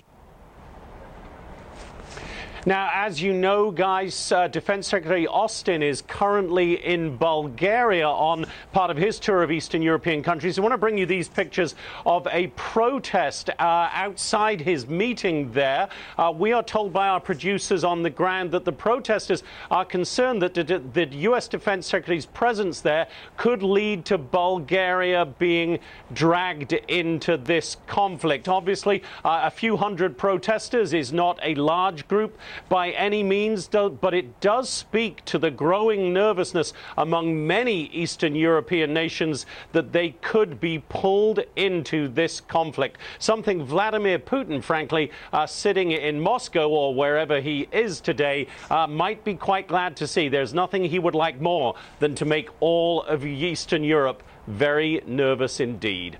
Lawrence, Rachel, Pete. Jonathan, great report. Real quick follow up question we had in the previous hour. The bombardment that we're seeing in the west, closer to where you are in Lviv, is that targeting military shipments, attempts at resupply, um, or, or, is it indiscriminate like we're seeing in the east? Are they trying to cut off weapons coming in? What are they doing? Yeah, it appears to be very targeted, Pete. It's a very good question. But yes, at the moment, it, we just had the one strike yesterday on an airport facility. It was an aircraft repair facility. The Russians said it was being used by the Ukrainian Air Force to repair MiGs. The Ukrainians said there was no activity there at all. And then, obviously, uh, last weekend, we saw the attack on the Yavoriv military base about 30 miles outside of Lviv. That again, a military target. The Russians said they were taking out foreign fighters who were gathering there. So, yes, at the moment, it is what the Russians consider military targets. But I can tell you, Pete, it has made everybody here in Lviv mm. very well aware that the Russians have the ability to hit anywhere in Ukraine at any time. And they have shown, of course, they are perfectly willing to hit civilian targets everywhere. Pete? That's exactly right. Jonathan Hunt, thank you very much for the update missile struck a government building, but a phone call suggested there was a survivor in the rubble. Our correspondent John Sparks watched the rescuers ignore air raid sirens to try to find one man. The city of Kharkiv looks battered and bruised. Every street in every neighborhood has been touched by war. But there are some districts here that have going to Poland, going somewhere else uh, in Europe, especially where they may not know people, learn a new language, a new culture, is pretty daunting for a lot of people. So many of the people that I spoke to yesterday about their safety level say that they intend to stay as long as they possibly can. Kristen, Boris? Scott, the UN estimating that some six and a half million people are displaced within the country of Ukraine. Obviously, they will start to flee westward, as you noted when things get heated in the east. Scott McLean from Lviv, Ukraine, thank you so much. Let's pivot now to the White House and President Biden this week taking a direct step to warn a global player to stay out of this conflict. He told President Xi Jinping of China there would be serious consequences if China helps Russia in Ukraine. CNN White House reporter Jasmine Wright is traveling with the president in Delaware. Jasmine, bring us up to speed on that conversation between Xi and Biden. Well, Boris, U.S. officials said that President Biden was direct when he described both the implications and consequences for China should it aid Russia in this ongoing offensive. But one thing that remains unclear here, Boris, is whether or not President Biden achieved at least part of the goal, which was to influence China's President Xi into choosing the right path here. And so, administration officials from the U.S. they described the nearly two-hour-long call as substantive, detailed, and direct. And now our own Kaitlan Collins yesterday in a briefing with White House press secretary, she answered, she asked really a pivotal question here when it comes to ascertaining whether or not the U.S. feels successful, which is whether or not it still has concerns that Russia uh, excuse me, that China may come to Russia's aid either military or financially in this ongoing conflict. Take a listen here. Yesterday, Secretary Blinken said the administration was concerned that China is considering answering Russia's request for more military equipment. After this recall, does the White House still have that concern? We have that concern. The president detailed, um, uh, you know, what the implications and consequences would be if China provides material support to Russia um, as it conducts brutal attacks against Ukrainian cities and civilians. And obviously, that is something we will be watching and the world will be watching. So that concern hasn't gone away following the call? Obviously, actions are a key part of what we'll be watching. Now, there we just heard from Psaki saying their actions will be a key part of what they're actually, what they're watching, laying out an overview. Now, something that Psaki did not say was that she did not get into specifically what the U.S. could have prepared for China should it do what it fears that it might, which is aid Russia militarily or financially. Neither did senior administration officials who briefed reporters after President Xi and Biden's call. Um, but one thing coming from President Xi's side, according to state media, is that he said that it was up to both sides, both the U.S. And China to ensure peace around the globe. Kind of a vague description about where things lie. But again, really no word on the reality of exactly where President Xi stands in terms of this conflict, something that was pivotal to Biden to try to assess as, as there really is no real no marker of where they're at. And of course, this call, Boris, comes at an incredibly pivotal time where U.S. officials feel that China could have real influence when it comes to the trajectory of this ongoing conflict and, of course, any decision that China makes uh, would really uh, potentially have grave implications for U.S. and China relations for decades to come. Boris? Jasmine Wright live in Rehoboth Beach, Delaware for us. Jasmine, thank you. And so next week, President Biden is going to travel to Europe to meet with world leaders to discuss Russia's invasion of Ukraine and to participate in a NATO summit. CNN's Natasha Bertrand is live from Brussels. And Natasha, I mean, this has to be one of the most high stakes foreign trips of Biden's presidency. Absolutely, Kristen. It will be a very, very closely watched trip. They are not necessarily anticipating any major deliverables to actually come out of this summit next week because, of course, NATO has said that it is not going to enter the war in Ukraine, that they are not going to put NATO forces on the ground or in the air to defend Ukraine against this Russian onslaught. But it will be a chance for President Biden to show the world that the West is still very unified in defense of Ukraine against Russia's attack there. Now, he's expected to meet with NATO leaders on Thursday. Thursday, and they will discuss deterrence and defense measures uh, with regard to the war in Ukraine. Deterrence being how can we prevent Russia from escalating even further, and importantly, how can we prevent Russia from going further and further west towards Poland, towards that NATO doorstep.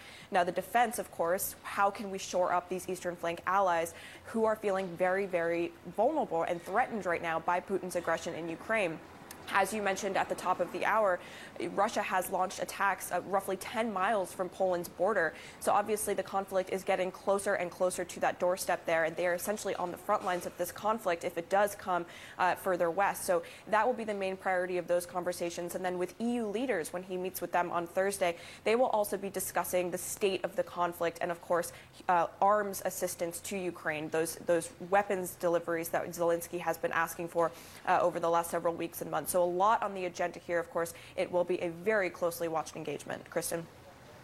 No question about that. Natasha Bertrand, live from EU headquarters in Brussels. Thank you so much. The U.S. Defense Secretary tells CNN that Russia has made a number of missteps in its invasion of Ukraine. And the assessment comes as the Pentagon chief was in Bulgaria meeting with U.S. and NATO troops ahead of the president's visit to Brussels next week. Yeah, our colleague Don Lemon sat down for an exclusive interview with Secretary Lloyd Austin. Here's a portion of it. What is your assessment of, of Russian forces now? Are they stalled? Are they regrouping so that they can increase uh, their assault or increase their violence on Ukraine? What's your assessment of the Russian military? Well, it's hard to tell, Don. I think, uh, you know, they, they have not progressed as far as quickly as they would have liked to. Uh, they, I think they envisioned that they would move rapidly and very quickly uh, seize uh, uh, the capital city. They've not been able to do that. Uh, they've struggled with logistics, so we've seen a number of missteps along the way. I don't see, um, you know, evidence of good employment of tactical intelligence. I don't see integration of, you know, air capability with the ground uh, ground maneuver. And so there are a number of things that we would expect to have seen that, that we just haven't seen. And the Russians really have had some, that's presented them some problems. So many of their assumptions uh, have not uh, have not proven to be true as they as they entered this fight. Let's get some more expert analysis now. CNN military analyst and retired Air Force Colonel Cedric Leighton is with us, and the president of the Global Situation Room, Brett Bruen, also joined us. He was the director of global engagement in the Obama administration. Uh, Colonel, let's start with that assessment from Secretary of Defense Lloyd Austin. Uh, it coincides with British intelligence saying that uh, the Kremlin was caught off guard by the scale and ferocity of Ukrainian resistance, and that leads to the belief that the strategy will shift for the Russians. They're going to look at a, a war of attrition now, essentially winning by any means necessary. What does that look like on the ground in Ukraine? Well, Boris, good morning. It uh, th that is going to be one of the most terrible developments of this war, frankly. you know, I think the, you know, as the Secretary of Defense mentioned and the British intelligence assessment uh, also pointed to, it's very clear that the Russians wanted to do something like they did back in 1968 in taking over Czechoslovakia. They basically did it in two days when they uh, when they came in and uh, uh, uh, replace the communist government uh, of Dubček in, in that country. you know, when it comes to Ukraine, we are going to see the pounding of cities. We're going to see uh, the use of artillery, the use of indiscriminate airstrikes. Uh, we're going to see some more cruise missiles being uh, lobbed into the country from various locations. Uh, and that is going to, I think, really point to the fact that this war is going to enter a new and unfortunately brutal, more brutal phase. And Brett, let's dissect the idea of an off ramp for Vladimir Putin. This morning, uh, President Zelensky of Ukraine warned that Russia's losses would be so huge that several generations would not be able to, to rebound. Um, at this point, though, it doesn't appear that Vladimir Putin is eager for an off ramp. It seems like he is moving toward, as the colonel pointed out, a strategy of more bloodshed. It does not. And one of the things I think we have to be uh, aware of and on the lookout for is Putin, if he is going to drag this conflict out, will also try to sow uh, divisions and to deplete the uh, the unity of uh, the West and the NATO alliance. So uh, we also should be looking out for Putin's efforts, uh, potentially even to open a, a, second front in this conflict. It could be in a place like uh, Georgia or Moldova, where Russia already has similar separatist regions. and the question then becomes will NATO, will the West stand up with the same level of support that we've seen? in Ukraine. Uh, Putin is a master of uh, the the art of distraction, and I think we have to be conscious of that, and we have to be ready to respond. Uh, Russia and Belarus have sent uh, tacit signals about Moldova specifically. It's notable that you mentioned that. Uh, Colonel, back to you. Uh, the latest from Ukraine. There are reports that indicate that dozens of Ukrainian troops were killed in a strike in Mykolaiv. That's in the southern part of the country uh, somewhere between Odessa and, and Mariupol. Uh, you've talked extensively about the significance of the Black Sea uh, as a strategic point for getting supplies into Ukraine. Uh, help us understand the, the focus of the Russian military going into this part, the southern part of Ukraine. Why does it matter so much? Yeah, Boris, the, the southern part of Ukraine is key because once the southern part is taken over, that's basically the coastline. Uh, so on the Black Sea and on the Sea of Azov, uh, those areas, if they are taken over by the Russians completely, uh, what that means is, is, it cuts off any access that uh, Ukraine has to the sea. Uh, and it hurts their exports, hurts their ability to get resupplied from a military standpoint, uh, and it makes it far more difficult for Ukraine to be a viable country uh, if that area is taken over. so the event in Mykolaiv is one in which uh, they are really using a strategy of encirclement and uh, decimation as it goes forward. And what they're going to be doing is, uh, you know, further movement toward the west from that area toward Odessa. And the idea there, because Odessa is the major port, is to cut everything off and uh, go all the way to the Romanian border. And Brett, uh, we talked a little bit this morning about the phone call between President Biden and President Xi of China. Uh, from an incentives perspective, China benefits from playing both sides, giving very uh, sort of light criticism of the invasion while simultaneously uh, not really going after and, and, condemning Vladimir Putin. In fact, securing uh, recently a, a, deal for oil that lasts 30 years and boasting of this eternal partnership between these two nations. What do you expect the United States to do to try to deter Xi Jinping from getting involved in this conflict by supplying Russia either with military aid or, or financial relief from sanctions?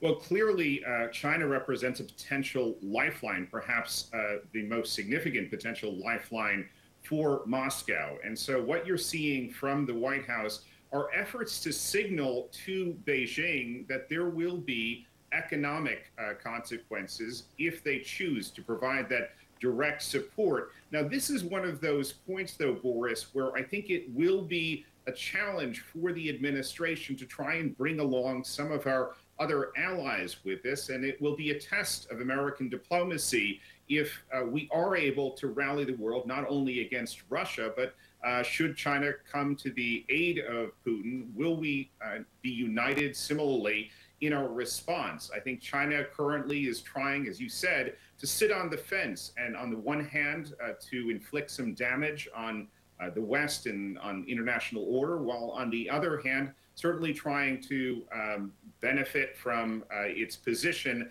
that suggests that uh, China uh, deplores the, the violence, deplores the situation in Ukraine, but is not going to do anything uh, to come to the aid of the Ukrainians or bring the conflict to a quick end. Yeah, it'll be interesting to see how some of these European allies that have forged very close ties with China economically might respond uh, if Xi, in fact, provides Russia with weapons in Ukraine. Uh, Colonel Cedric Leighton, Brett Bruen, we got to leave the conversation there. Appreciate you getting up early for us this morning. Thank you, Ben. Four U.S. soldiers are dead after a U.S. military aircraft appears to have crashed during NATO training exercises in Norway. That's according to Norway's prime minister. Uh, the Osprey aircraft was spotted on Friday by a rescue helicopter after what authorities called a mishap uh, that uh, caused, quote, major damage. We will continue to bring you updates, of course, as we get them. Meanwhile, more than 3 million people have fled Ukraine since Russia's invasion began. Coming up, how one group is working to resettle refugees here in the United States. Plus, new details in the death of American James Hill, who was killed in Ukraine this week. His chilling account detailing the deteriorating situation in Ukraine before his death. Up next. Plus, remember the COVID pandemic? It's not gone.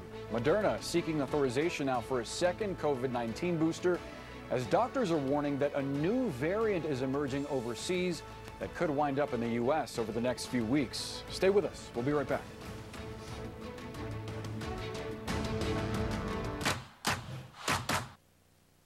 Or to a sedentary lives of the party, Shackleton and Vi. And that now, fans that can add a nice Liberty Mutual customizes your particularly in western Ukraine. Spring is the season of new life and new beginnings. And for farmers the world over, it has always been a, type of, a time of hope as they sow their seeds for the crop ahead, full of optimism for what it might bring in the future. And in Ukraine today, the determination to get this year's crop in the ground shows that the Ukraine is a country that believes in its future and that refuses to give up. Of course, Ukraine is a significant global producer of many agricultural commodities, such as wheat and sunflower oil. And the invasion of Ukraine has obviously caused turbulence in international commodity markets. Agricultural commodity prices have always been closely correlated with the price of energy. The turbulence on the market has brought into focus, once again, the crucial importance of a resilient global supply chain. So last week, I attended a special meeting of the G7 to discuss the international security situation in respect of food. And at difficult times, when there is a shock to the market, the single most important thing that the rest of the world can do is to keep markets open. There is over 200 million tons of wheat in store around the world, and those who operate the market need to be able to move stocks around freely in order to satisfy global demand. Now, the UK is largely self-sufficient in wheat production and imports just a small amount, predominantly from Canada. But we are working with like-minded countries around the world to ensure that trade flows continue. And we are also working through organizations like the World Food Programme to identify vulnerabilities where they exist and to ensure that we play our part in ensuring that those nations in need, including those besieged cities in Ukraine, receive the food that they need. Within my own department, we have also received many offers of help from farmers. We listen to your goals and help you achieve them with care and coverage. Really need to get things done, or will they look perhaps at just extending the current bill? You know, the nice thing, this is the election year, right? 2022 is the election year. Sometimes those years fall of an expiration during election year, and it is always hard to pass anything in an election year. So I think by the fact that it is 2023, we may have a greater chance of getting it passed on time. I think that's a lot of people's hope and goal, because if you do roll it into 2024, if you have just a one-year extension, all of a sudden you're into a presidential election. And so you are into a lot more um, you know, just problems getting that consensus that this is a bipartisan vote. It's always been a bipartisan vote. You get both members from both sides and everybody at, eats food. You have rural districts from every blue state and red state. And, and so that's kind of a hope anyway that 2023 would be when we would likely see something unless it's a longer term extension. I don't think you'd get a one year extension in 2023. At times in the past, feel the power of contrast help bring back a quality. So much is out of your hands. Nazism. Joining us now is former CIA station chief who served in Moscow and Fox News contributor Dan Hoffman. Dan, thanks for being here. Uh, a big stage propaganda event. We even saw the new symbol of this invasion, that Z that's painted on the tanks, put on flags. Is he, are the Russian people buying this writ large? We hear reports, but is th was this meant for an internal audience or an external audience? Yeah, so I think it's meant for an internal audience, uh, and I think it's meant actually for Vladimir Putin's inner circle. You know, those are the ones he fears the most. He knows that he made some gross miscalculations about the war. Uh, and let's make no mistake, it's a war, even if Putin wants to call it a special military sure. operation. Uh, he, he miscalculated on Russia's military, which is bogged down. He miscalculated on the will uh, and the capacity of Ukraine to fight. And, he, and most of all on President Zelensky, who mobilized the West. He's the one, Zelensky, who wakened us all, uh, Western nations, uh, out of their post-Cold War slumber and, and enabled us to crater the Russian economy. You know, Zelensky has a whole lot of allies, including Switzerland, Finland, uh, Norway, Sweden, countries that have traditionally been neutral, whereas Putin has no allies whatsoever, in spite of this Potemkin village uh, effort to try to demonstrate, you know, that, that, that there's support behind Russia's war effort. Putin's a KGB officer. He's a purveyor of lies, uh, disinformation, and propaganda. That's what was on display yesterday. Dan, there are increasing reports of Russian troops captured or otherwise uh, saying, you know, a, a, lot of the troops we're serving with don't believe in this mission or feel like they were lied to and would rather not be there. What do you make of these reports? Are, are, are they as big as, are we overinflating this and most of the Russian military is there in the fight? I, I, think those reports are certainly accurate. It's very hard to measure the morale of Russia's uh, fighting force, but keep in mind that there's a lot of Russian dead soldiers, and, and those numbers are, it's very hard to know exactly how many aren't, aren't ever going to be going home. Uh, but there's enough that we're seeing protests uh, in, in Vladimir Putin's hometown of St. Petersburg. And the longer this goes on, uh, it just makes it more clear that the war is not going according to plan, as Putin said it would. That, and that the concern for us is that Russia, uh, that Putin is going to be taking more risks. He's been launching missiles increasingly at civilian targets. We saw the attack on the drama yeah. theater in Mariupol and, of course, the maternity ward as well. Well, our Secretary of State has said much the same. Here's Antony Blinken on what Russia may be plotting. Listen. We believe that Moscow may be setting the stage to use a chemical weapon and then falsely blame Ukraine to justify escalating its attacks on the Ukrainian people. All right, what happens if chemical weapons are introduced, Dan? Yeah, so, I mean, listen, Putin's a KGB guy, so he's all about admit nothing, deny everything, and make some counter accusations. Russia has said that Ukraine is the one with a weapons of mass destruction program. Nothing could be farther from the truth. It's Putin who's used a banned chemical nerve agent, Novichok, overseas in the UK and against Navalny in Russia. He turned FSB defector Litvinenko into a human dirty bomb by poisoning him with polonium 210. Uh, I think this is a legitimate concern. Russia enabled Syria's dictator Bashar al Assad to use chemical weapons on innocent civilians, and we do have to be concerned about this. I, I think the likelihood is still low, uh, but it doesn't mean that it won't happen. It doesn't mean that the Biden administration shouldn't be messaging Russian military officials uh, about this and warning them off committing additional war crimes. We shall see. Dan Hoffman, thank you for your time and your service. We appreciate it. Thanks, same to you. You got it. All right, Dr. Doom, Anthony Fauci returns, warning of even more COVID lockdowns if there's a spike. So we can't just say we're done. Now we're going to move on. We've got to be able to be flexible. Okay. But with variants getting weaker and weaker, can't we? I don't know what that means. Uh, Dr. Nicole Saphier on deck coming up.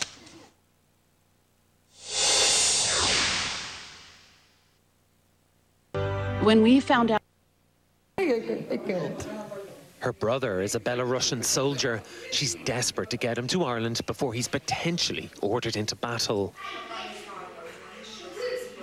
There's plenty of space and plenty of donated supplies, but the search is on for more long-term accommodation. For now, it's the good-natured chaos of a warm family home, a million miles from the horrors of war. Stephen Murphy, Sky News in County Meath. Well, let's see how the weather is shaping up.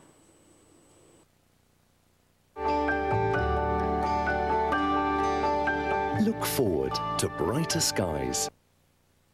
Thanks to Realtor.com. This Week in Agribusiness, serving America's most essential industry, is brought to you by Case IH. Welcome back to this weekend's edition of This Week in Agribusiness. It's a pleasure to visit with you once more. We thank you for joining us. Mike Pearson is on vacation this weekend, but a few days ago, carbon was on his mind. He was talking with the folks from Agoro Carbon Alliance about the opportunities that farmers might have in the future. And Mike posed the question, what happens right after that grower signs a contract?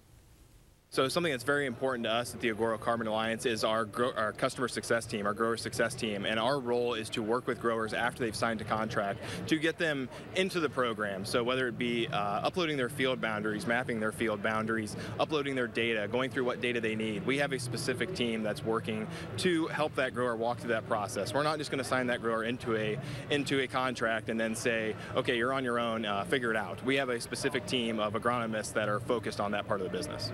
That's incredible. And it matters because these aren't short contracts. Can you tell us how long Agoro contracts are and why are they that length? So our contract term is 10 years. And, and the reason these carbon market contracts are so long is because the buyers want to, uh, they want to be purchasing real change. And it takes a time to really see that change and accumulate soil carbon. It certainly does. Mark, what can a farmer expect from the support team as they're navigating these practice changes?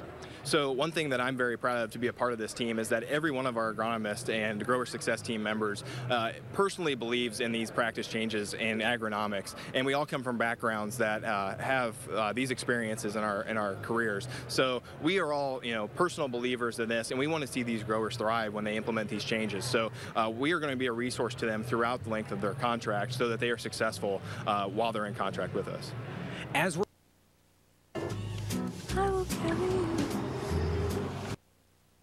you reach and stay on.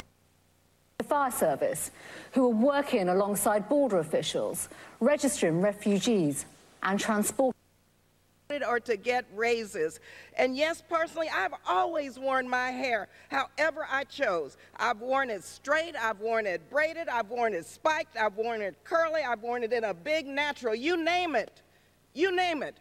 Everyone should be able to make those choices without fear of repercussion. Hair discrimination is rooted in systemic racism and is a real barrier to advancement and empowerment for our communities. Now, I've been fighting to end this discriminatory practice for years. In 2014, the women of the Congressional Black Caucus urged the Army to rescind Army Regulation 671 which prohibited many hairstyles worn by African American women and other women of color. and I led an amendment in the fiscal year expired. 15 Defense Appropriations Bill to ban funding for this discriminatory. Gentle lady will suspend. May I have another 30 seconds? Mr. Chairman. I yield the gentlelady another 30 seconds. Thank, thank, you, Mr. Chairman. I just want to remind you, we put this in the Defense Appropriations Bill to ban funding for this discriminatory rule. The military understood it. And due to our advocacy, a few years later, the U.S. Navy removed their discriminatory policy, allowing women, especially women of color, to wear their hair in dreadlocks, large buns, braids, and ponytails. We owe it to ourselves and to future generations to take action here in Congress to break down these barriers. Everyone should be able to show up as their authentic selves and passing the Crown Act is a major step in that direction. I urge my colleagues to vote yes, and I yield back. The gentleman from New York reserves. The gentleman from Ohio, uh, Mr. Jordan is recognized. Uh, right. Well, Lawrence, first of all, you know, I think it is would behoove us all if our nation's public health officials could uh, stop for a second and start to roll back some of the panic that they have instilled in the American people and stands with them in their hour of need. And there are multiple sclerosis. CNN national correspondent Camila Bernal has his story. Bombing has intensified.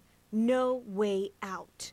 That was the last post from American James Hill before confirmation of his death.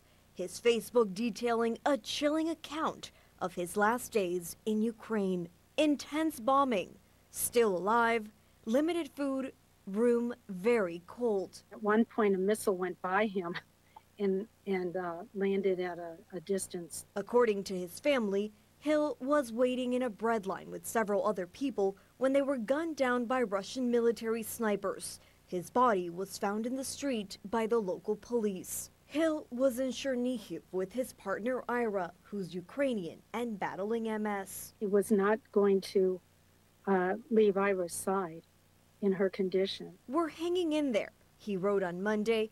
Very cold inside. Food portions are reduced. Bombing and explosions most of the night. Hard to sleep. People getting depressed. In his post, he describes feeling helpless, hungry, and cold while narrating a war. Intense bombing last night for two hours. It was close to hospital. Machine gun fire could be heard.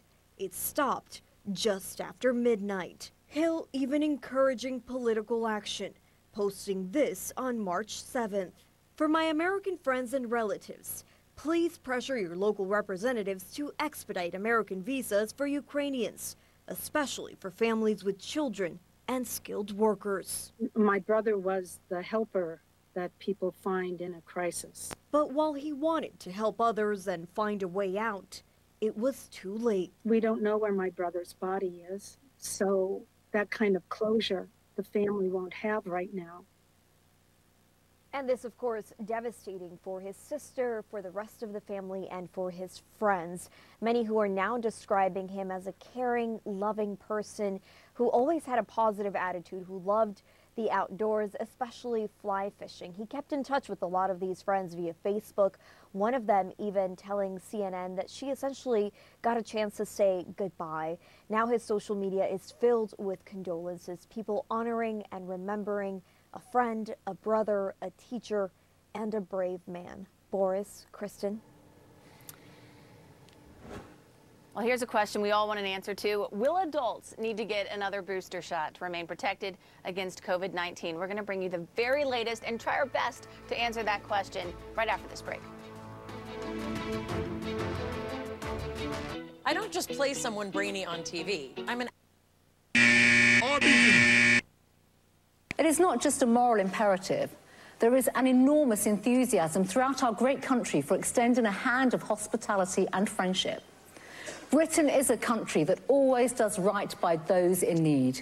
We have a long, proud history of offering sanctuary. And that is why I launched the Ukrainian Family Scheme for Ukrainians with family ties to British nationals and people settled here in the UK. I'd already announced the extension of leave for Ukrainian nationals already here before Putin's invasion. And now those joining us through the family scheme will be granted the right to stay in the UK for three years, during which time they can work and they have access to public services.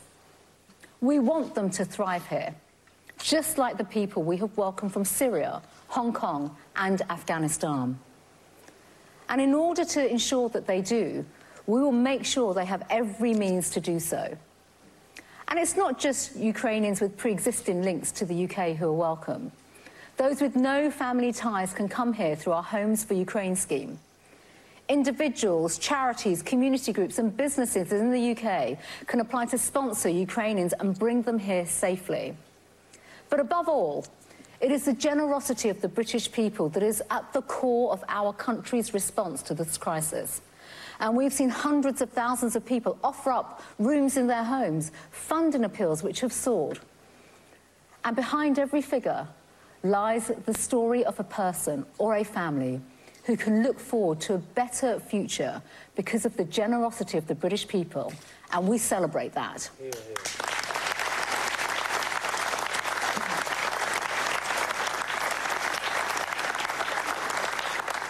But friends, it will not have escaped your notice that our opponents claim we do not care about the needy and the vulnerable. It is the opposite of the truth. Since 2015, we have resettled almost 25,000 men, women, and children seeking refuge from cruel circumstances across the world, more than any European country. As Home Secretary, I have given support to British national overseas status holders and their family members threatened by draconian security laws in Hong Kong, creating a pathway to citizenship for over 5 million people, with already 97,000 visas having been granted. And last summer, we led the largest evacuation since Dunkirk in Afghanistan. Under Conservative leadership, the United Kingdom has and will always provide sanctuary when the lights are being switched off on people's liberties. This government has focused on a post-Brexit immigration system that is open to the world and is fair where we welcome the best and the brightest through a points-based system. The brilliant, dedicated doctors and nurses now able to come and use our fast-track visas to work in the NHS. And the brightest and the best scientists and academics who now benefit from the global talent route straight to the UK. This is our new plan for immigration in practice.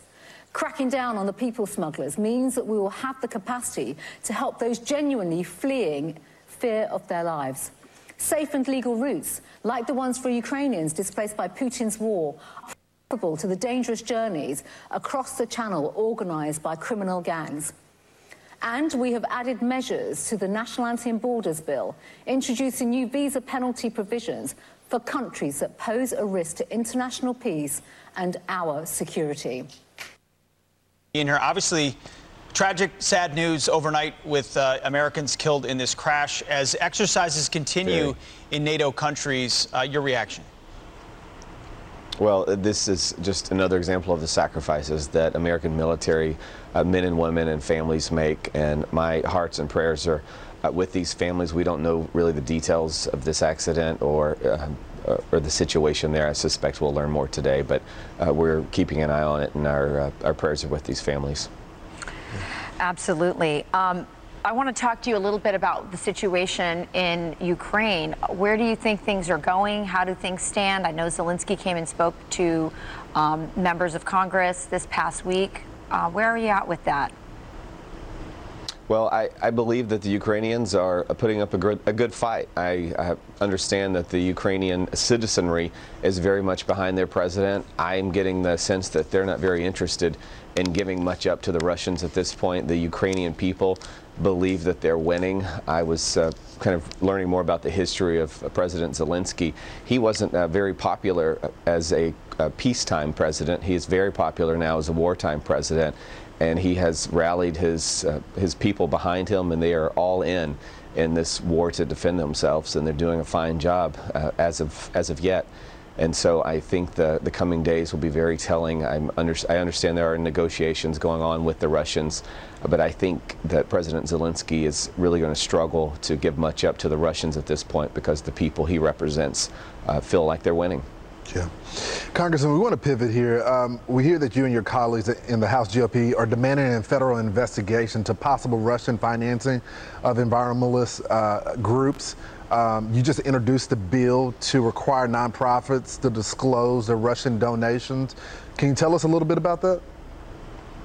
Sure. This has been a two-year fight for me. In the final months of the Trump presidency, I asked the Justice Department to investigate where these environmental groups here in the U.S. are getting their money from. We uh, have reason to believe that China and Russia are very much much involved in the financing of these groups. Russia, especially uh, at this point, is uh, benefiting from the actions that our country and that the European Union have taken uh, over the years because the environmental groups have pushed these governments away from their own domestic production and into the arms of Russia. Uh, the Russians are celebrating the reliance of the Europeans on their natural gas and the environmental groups, we believe, are getting funding from the Russians. And even Hillary Clinton in 2014 said that phony environmental groups funded by the Russians were doing everything they could uh, to stop U.S. fracking and domestic energy production. And that's. I think that what uh, Moderna is trying to do is actually they're pretty smart. Is they're going ahead and saying, hey, listen, we make a recommendation for all populations, all age groups, so they don't have to piecemeal the data, so to speak. I think ultimately, Kristen, all of us will require those that are eligible to require vaccinations will need that second booster shot for the reasons that I just mentioned. I got my booster shot back in October, so I'm I'm pretty much at that 6-month mark where my antibodies are probably waning and I think we absolutely have to take heed. We had five other warnings from Europe. What happens in Europe a few weeks later happens here in the US. So I think we should be prepared uh, for a possible booster shot or second booster shot for, first of all, adults 65 and older. So on that note, doctor, as cases of the BA2 variant are rising in the United Kingdom and, and across Europe, uh, what should the United States and the CDC be doing now to prepare for a potential surge? Right. I mean, you know, Boris, I've been very outspoken on social media, number one, for CDC's mask guidelines, where they said if you live in a low community level, you can take your mask off. I definitely don't think that it was worth taking our masks off, as Dr. Reiner had mentioned yesterday, for a month. It didn't make sense. Masks are basically the basic measure that we should keep to prevent the transmission of the virus. And we need to get prepared with these oral antiviral pills.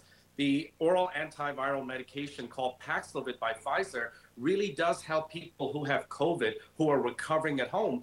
But I had to call about five pharmacies the other day to get it for an 82 year old female. So, do we have enough supplies? Do we have enough antibody infusions? And guess what? Just recently, Congress cut $15 billion in the uh, vaccine and pandemic preparedness plan that the White House had put forth. So I think that we're not really taking heed. We're not getting prepared. And as I mentioned one time as well on air, I think that we are all what we always do in the U.S. is react. We should be proactive and make sure that we're prepared ahead of time. Well, speaking of reacting, Doctor, as you know, most states have already dropped almost all of their, their COVID restrictions, but Dr. Fauci says that the country must be able to go back to, and I'm quoting here, any degree of mitigation that is commensurate with what the situation is. So uh, I, am curious what you think. I mean, at this point, do you think that people are actually going to go back to, to masking, social distancing, perhaps even remote learning uh, if they're asked? Uh, to be honest with you, Kristen, I'm not trying to be pessimistic, but I think that is going to be a hard sell you know, it's, it's been really difficult already. I think that for most of us, we've always been on our own to decide, you know, what should I do? The CDC has sent out a lot of mixed messaging, a lot of late messaging. And I think the current mask guidelines being prematurely lifted is just one way that America is saying we're tired of the pandemic. But like I've always said, the virus is not tired of us. We should still have the basic mitigation guidelines. I agree. If the cases are down, we should be able to back up. But a mask is a basic a mitigation guideline. Vaccines are basic. Booster shots are basic. And we should still live our lives, but we must do it cautiously. Dr. Saju Mathew, appreciate the expertise as always. Thank you, Doctor. Thank you. Legendary Duke coach Mike Krzyzewski is chasing a sixth and final national championship before he leaves the big stage. But as he heads into retirement, his greatest impact will be off the basketball court. When a youngster, uh, a young boy or a young girl comes through our doors, we want them to feel like there's hope, that there's somebody who's going to help them. But even more importantly, there's somebody who's going to believe in them. I got a lot of advice about five pounds. It'll dump trailers. They've got three. I want you to see. Sell all of them. So that's what I did once I got better. He arrived in Lemmon seven and he ran the local lumber yard. His hobby was examining petrified wood found around the county. During the early years of the Depression, he helped employ many local folks, building the Petrified Sculpture Garden, and nearly 100 years later, the city of Lemmon maintains the park. The Bainbridge family, they know a thing or two about century-long traditions. 2020 is the 101st harvest for this Ethan, South Dakota family. Born and raised on the farm his sons, Matt and Neil. The lactose, so you can enjoy it even if you're sensitive to dairy. Anything to make you smile and care were the very universal values which we as Conservatives hold dear to our hearts. The preciousness of freedom, safety and security, which unite and bring us together. We value the enormous benefits of living in a free and safe society, and we must always be resolute in our determination to safeguard them. What is happening in Ukraine is the saddest reminder of the depths to which humanity can sink to strike out those values. Our duty is to safeguard our country's interests and to be reliable and supportive to our friends who share our values. It is right that we do everything that we can to help Ukraine in this hour of need.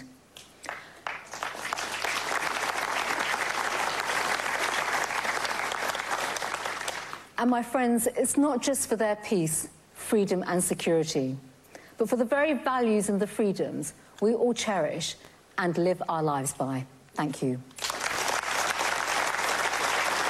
Home Secretary Priti Patel there speaking at the Conservative Party Spring Conference, and she talked about the trip to Poland two weeks ago, describing the people fleeing the war in Ukraine. She was in, if you remember, Medyka at the start of the month there, and she praised the work of the Polish people welcoming in the refugees from Ukraine. And she also described Putin as the aggressor in this war. Now, they're staying with the war in Ukraine, and Russia's president has praised his country's operation in Ukraine and what he called the heroic efforts of his troops. Sky News witnessed civilians being hit from the ground and the air near to Kiev. Six buildings, including a preschool, were damaged in the attack in the city's Podil neighborhood, just north of the city centre and about 1.5 miles from the government quarter holding the presidential palace. Our special correspondent, Alex Crawford, sent this report. This is Deadwood. Great great places, South Dakota. We're back with a Fox weather alert. Florida and Georgia are bracing for a tornado threat. The strongest storms expected close.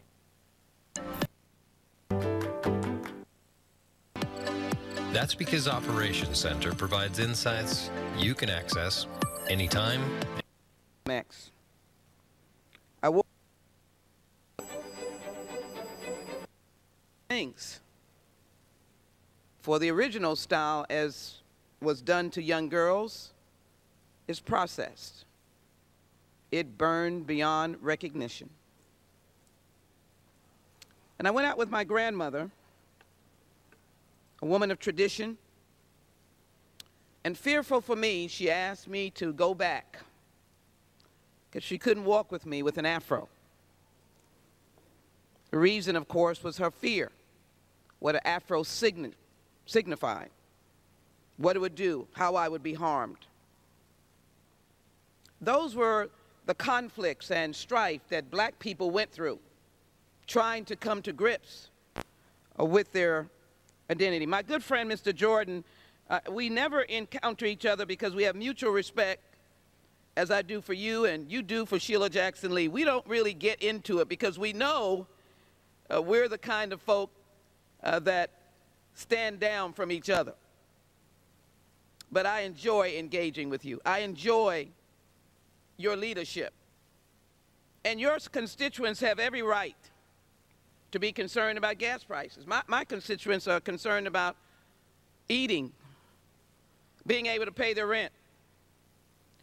And I believe we can walk and chew gum at the same time. Let's get together about gas prices and paying rent and people eating and having jobs and ending discrimination. Why can't we do that together? because you have not walked in my skin. You've got to understand what it means when we are talking about a report that has been given. In 2019, the Joy Collective, the Crown Act Coalition, disproportionately burdened by policies black people are and practices in public places, including the workplace, that target, profile, or single them out for their natural hairstyles. The Crown study found that black women's hair is more policed in the workplace. His time has expired. Gentlelady, an additional 30 seconds. Gentlelady is recognized for Thereby contributing to the climate of group control. Black women are more likely to receive formal grooming policies. And 80% of black women believe that they had to change their hair to be in the workplace. Just imagine, just imagine the beauty of these hairstyles. Mr. Jordan, the beauty of these hairstyles. This is what we're talking about people who are severely discriminated against, young boys, young girls. A little girl in a Catholic school could not wear her hair, had to go home. The fabulous Serena, who gives joy to all of us, and yet these are the locks that she is wearing. Can I get another 15? I thank you for recognizing. I grant the, grant the gentlelady an additional 15 seconds. I thank you, the chairman, very much. And this young boy, who like me, was felt diminished because someone thought it was wrong for me, an afro for him, his braided hair. Mr. Jordan, we have engaged in a lot.